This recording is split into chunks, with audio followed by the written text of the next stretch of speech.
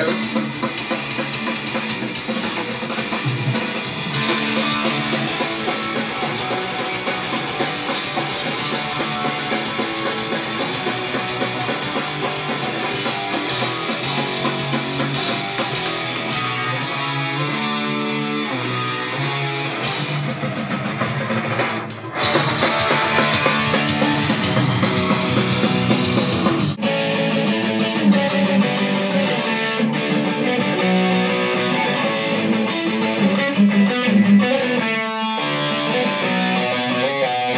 tænkte lige, snakke lidt, snak, snakke lidt om øh, museet, vi har haft spillet på. Det er jo sådan en, en voks. Den er jo... Den er ikke gammel, så det er ikke så fedt.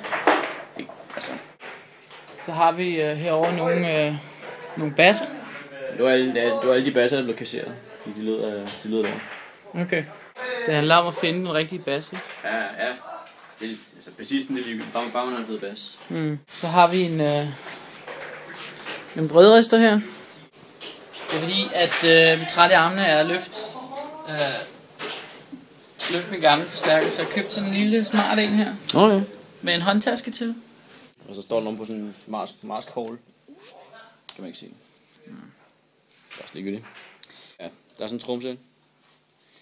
Det er jo øh, det er Ludvig, det er Ringo Starrs gamle trommer, som vi, vi har bare lige malet med sorte. Og så med sådan nogle bækkener til, det, er- det, er bare, det er bare et eller andet lort. Øh, det lyder lort, men det, Arabiske, eller hvad? jo, det, jo, det er noget arabisk, noget mellemøstlig, øh, måske, måske, måske, måske, måske det er fra Kazakhstan eller sådan noget. Vi har den her. Øh, Lardbots Coffee. Hardboss. Det er, jeg har ikke... Øh, men den er, den er okay. Den kan spille øh, ACDC. Det er det med seks strenge, ikke? Jo, det er det. Hvis man husker tage dem alle sammen på. Det kan man godt kon- Der har en flot lille beige knap, som man kan skrue af. Og øh, Og det er smart. Så kan Ja. man skifte den ud, når den er færdig. det er den, når den er brugt op. Jeg har lige sat en helt splinter ny en på til indspilningen. Fordi at... Øh, så det var det. Jeg håber, at I synes, at øh, det har været spændende at kigge på, hvad det er for noget udstyr, vi leger lidt med her. Ja. Øh, Man kan jo ikke sige, at vi spiller på det.